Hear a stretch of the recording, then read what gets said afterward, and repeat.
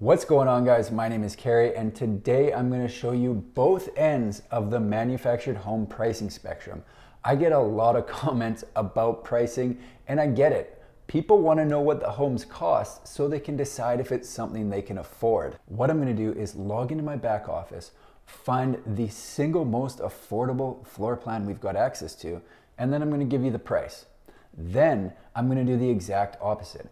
I'm to find the biggest, baddest double wide we've got, and I'm to add all of the best upgrades to it to see if we can design the most expensive double wide in history. I'm in Canada where the prices are already quite a bit higher than what the folks in the States are used to paying. So get ready to pick your job off the floor because I already priced this puppy out and even I was a bit shocked. I'm gonna do a US dollar conversion so that you're comparing apples to apples and you can get a true sense of what our pricing looks like. At the end, I'll do a breakdown of the monthly payment on the most affordable floor plan we've got versus what I think is gonna be the most expensive double wide in history. And then everything else we offer will be somewhere in between. So let's get into it. The most affordable floor plan that we have is a 14 by 40 560 square foot, two bedroom, one bathroom with a front living room. It's comparable in size to a park model, except instead of being 12 feet wide, it's 14 feet wide, which makes a big difference to the overall feel when you're inside the home.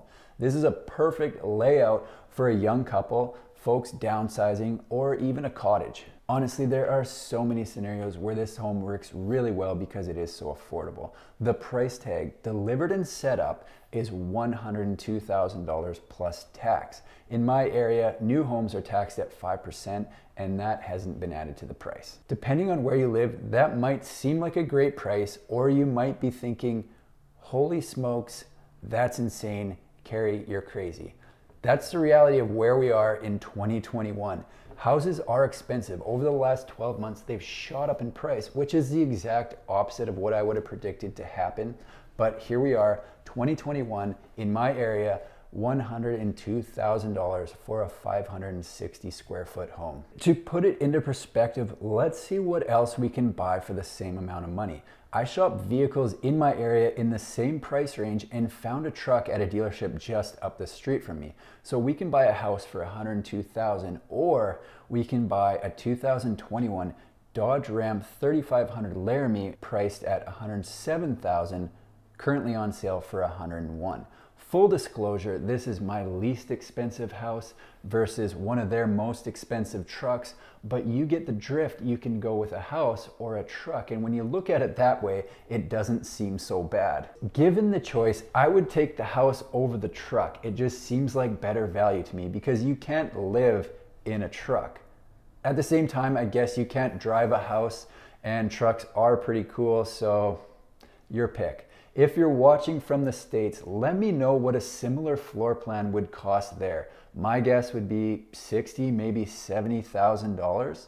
Let me know. Nobody clicked on this video to see the most affordable floor plan we offer, so let's get to the juicy stuff. We're gonna design a dream double wide and see if we can make it the most expensive ever in history.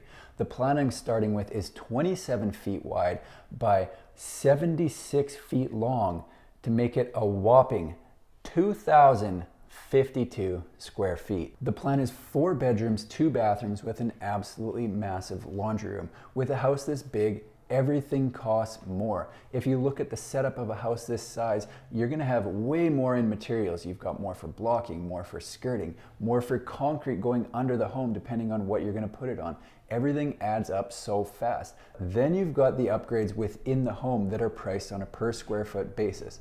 The drywall, quartz counters, flooring. When you're working with a house this size, Every one of those additions is big money. I'm gonna design this house as if money were no object and I could get whatever I wanted. And I'm not gonna bother listing the normal upgrades I put into every single house, only the big ticket items. Here's what I would get if money was no object. Drywall, and on a house this size, that's a $19,000 upgrade. This is something that's way more expensive in Canada than it is in the States. When I was buying houses from Palm Harbor out of Oregon, Drywall actually came standard and I had to pay extra if I wanted to get vinyl covered gyprock panels. Definitely getting the upgraded cabinets. Vinyl plank flooring throughout the entire house. Hardie board siding. a gas fireplace in the living room, and another gas fireplace in the bedroom. Quartz counters in the kitchen and bathrooms. Six foot walk in showers in both bathrooms. The stainless steel appliance package with a gas cooktop and a wall oven. An absolutely massive island in the kitchen. Hot water on demand. 512 roof pitch a patio door off the dining room, and two extra windows in the living room. That's only adding 13 big ticket items to this house, but as I mentioned before, on a house this size, it's crazy how much it affects the price. Those 13 items would cost an extra 85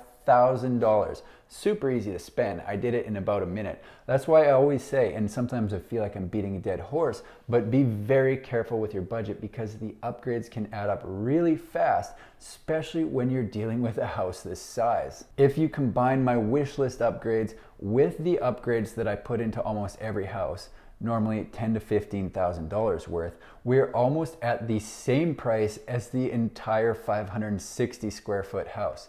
So the total amount of upgrades we've now got going into the dream house is $100,445, which is absolutely insane. To give you a true idea of the final cost, I'm gonna include delivery to my city, setup, and a concrete pad. However, the price will not include any land costs.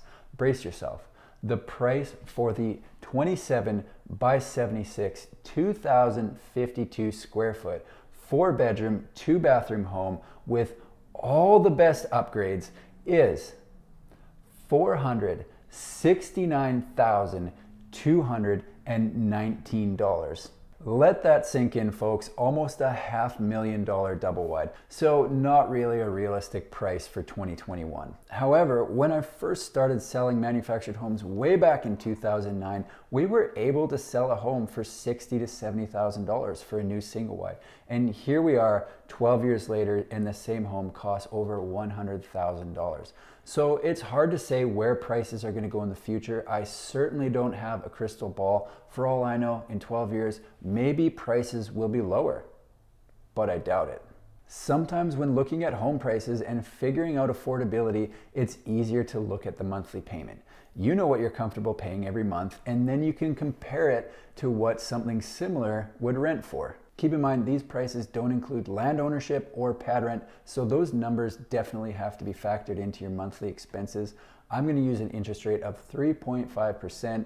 Interest rates are a bit lower in Canada right now, but talk to a mortgage broker and see what rate you would get on a new home purchase. The $102,000 house with 10% down over 25 years would be $473.84. The payment on what could easily be the most expensive double wide in the world is $2,226 plus 450 give or take for pad rent. Not to mention, it's gonna be really hard to find a pad in a mobile home park that's gonna be big enough for a house that size. Depending on where in the world you're watching from, that might seem absolutely insane, or you might be sitting there thinking, you know what, that's not that bad. If you're looking to buy a new manufactured home in 2021, you can expect to spend anywhere between 100 and 500 $1,000. The price of manufactured homes have gone up over the last year. People are staying home, working on renovations, and factories supplying materials have had to shut down temporarily, causing supply shortages.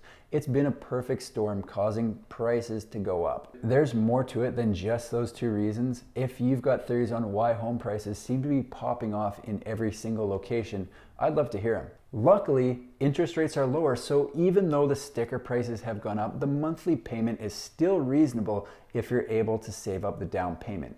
That's all I've got for today. If you like manufactured home videos, be sure to subscribe to my channel because I've got a lot more coming.